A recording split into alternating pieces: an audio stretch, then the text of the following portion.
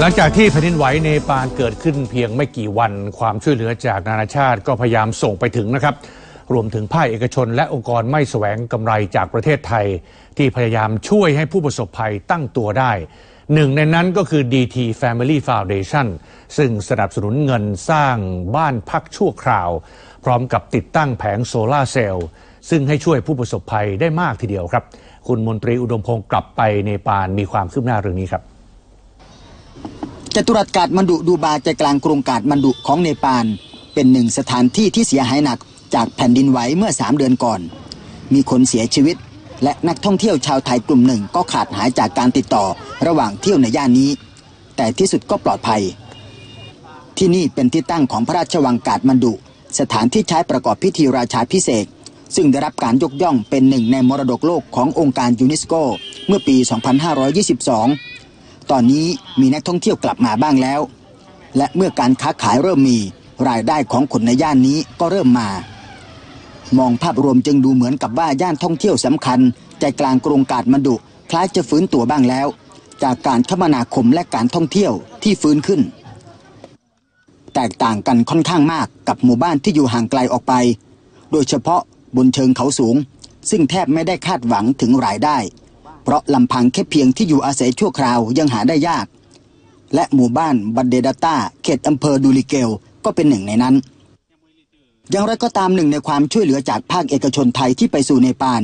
นับแต่เกิดแผ่นดินไหว ก็คือการหาที่พักเร่งด่วนให้ เช่น DT Family Foundation ซึ่งร่วมกับพันธมิตรในเนปาล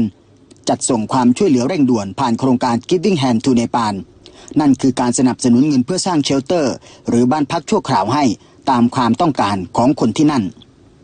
ครอบครัวของมนกุมารีเป็นหนึ่งในหลายร้อยครอบครัวของชุมชนที่นี่ที่ได้รับความเดือดร้อนจากเหตุแผ่นดินไหว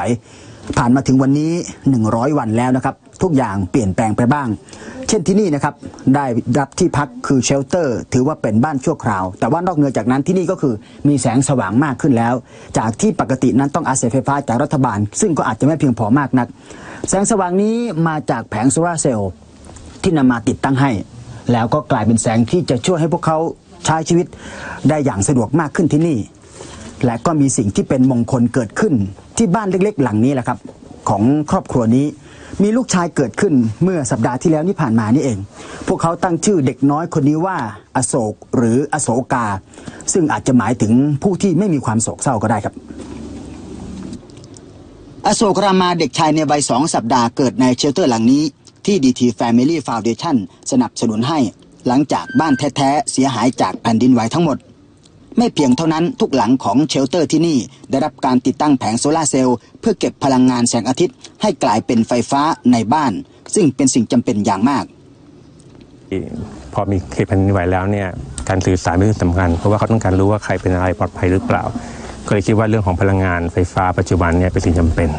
นะครับเพราะฉะนั้นถ้าเกิดเป็นพื้นที่แบบนี้ซึ่งพลังงานไฟฟ้ามีไม่ต่อเนื่องหรือว่าขาดขาดสม่ำไม่ค่อยสม่ำเสมอเนี่ยเราจะเป็นต้องมีพลังงานทดแทนให้กับเขาเราก็เลยคิดถึงตัวโซลาร์เซลล์ This is before like uh, three steps. It's a big one. แกนนำชาวบ้านบอกว่าแม้พวกเขาต้องการจะอาศัยในบ้านจริง ๆ ที่จะสร้างขึ้นใหม่ ซึ่งจะไม่ร้อนอบอ้าวเท่านี้ แต่ทุกคนไม่มีเงินไม่มีรายได้ เงินที่รัฐบาลเนปาลประกาศจะช่วยเหลือให้ครอบครัวละ 2 0 0แสนรูปี หรือราว 70,000 บาท ตอนนี้ได้มาแล้ว 15,000 รูปี หรือไม่เกิน 4,000 บาท ซึ่งไม่มากพอที่จะฟื้นฟูบ้านได้ และที่เหลือก็ไม่รู้จะได้อีกเมื่อใด ตอนนี้เชลเตอร์หรือบ้านชั่วคราวพร้อมกับโซลาร์เซลล์นับว่าเป็นทางเลือกที่ดีที่สุดแล้วมาจาก Change Fusion Nepal นะครับก็ยินดีต้อนรับทุกๆ คนแล้วก็รู้สึกอย่างไรก็ตามการช่วยเหลือจาก DT Family Foundation ซึ่งเป็นองค์กรของไทย ไม่ได้เกิดขึ้นเพียงลำพัง แต่ได้รับการร่วมมือจาก Change Fusion เนปาลซึ่งเป็นองค์กรไม่แสวงกำไร ที่มุ่งเน้นสร้างการช่วยเหลืออย่างยั่งยืนให้กับผู้ประสบภัย